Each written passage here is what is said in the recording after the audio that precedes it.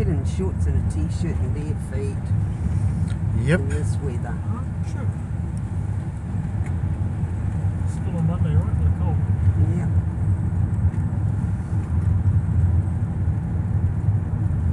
Chris's house.